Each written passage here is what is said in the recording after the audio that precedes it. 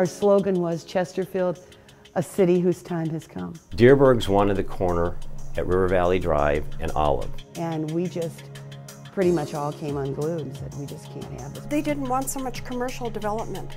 Send us a letter saying, come to a meeting, we want to talk about incorporating Chesterfield. That was the first time we all kind of came together as a group. We went out and we, you have to get a certain number of signatures. Saturdays were spent going door to door. Jack Leonard, this was his idea. He kept us together.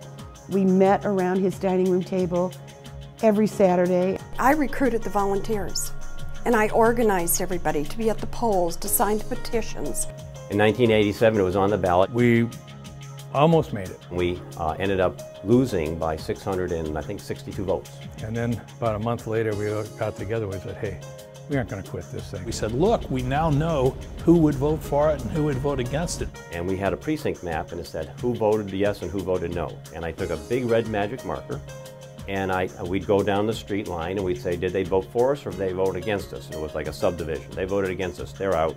How about those people? They're for us, we're, we're they're in. And we started gathering petitions and going around and having regular meetings.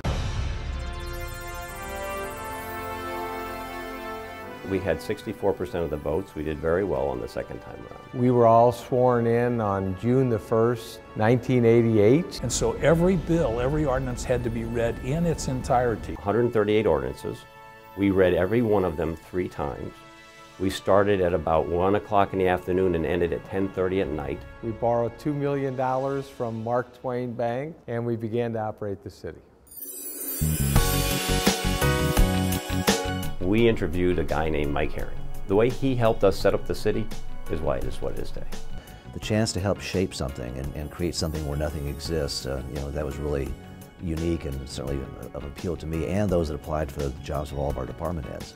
We were sort of a gypsy city hall moving from place to place. Little bitty office. And I remember distinctly one day reaching and pulling out a drawer and the front of the drawer falling off my hand. And if something had to be done, there was nobody in the first three months to do it. Hired the chief, began to build the department, created our patrol routes, got all of our police cars, all of our uniforms, all of our, uh, the equipment that the uh, officers needed. We wanted to be a part of as uh, the city as opposed to apart from. Initially, um, it was rather quiet because we hadn't existed for all the years up until that moment was nicknamed Gumbo Flats and had a lot of other names, but once it became Chesterfield, it was just ready to, to boom.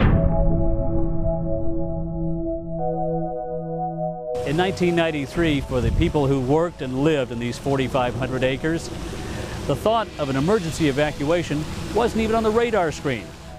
Thursday night, we got a call. Word came back via walkie-talkie that the levee had broken.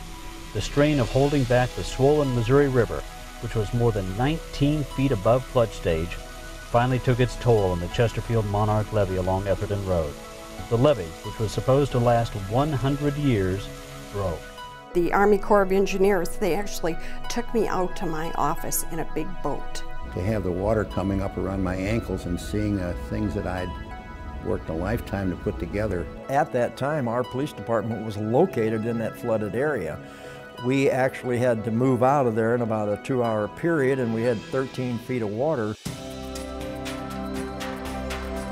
We decided that we're going to put this place back together and make it better than ever. We found out it wasn't the final end, it was the people themselves, not their buildings and not their possessions. Poor Jack Leonard, who was my successor, uh, did a very good job. He, it was his leadership that put uh, that put the valley back together. We had the Mayor's Flood Recovery Task Force. The valley was ripe for a massive redevelopment. They recognized that that was the lifeblood for the community. That's where commercial, that's where a lot of that retail needed to go. THF Realty uh, saw an opportunity to create something down there, which ultimately became the Chesterfield Commons. They also took a very, very important step. That was to declare the area blighted and to establish a TIF, a tax, a tax increment financing district. And as sales taxes were generated, those dollars were all used to finance the complete rebuilding and strengthening of the levee, uh, improvement of roadway systems, the construction of um, the uh, Boone's Crossing overpass. Louis Sachs had a, a, comprehensive plan. He had a master plan for the community. He had this probably an eight foot square scale model. He had a vision. He knew exactly how he wanted this town to develop, and it did. I think our investment in good talent shows it with the City Hall.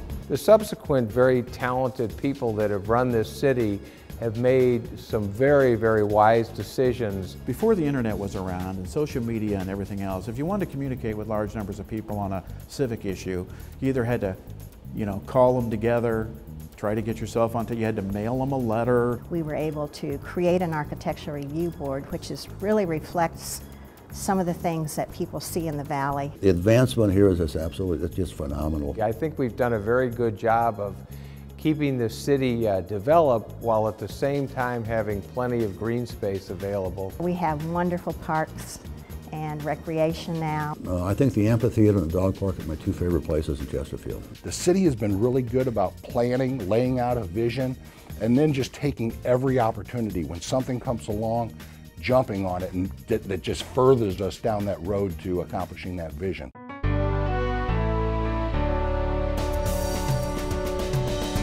I think what most families find appealing to the city of Chesterfield is the fact that it is such a well-run city with, uh, I believe, an outstanding reputation.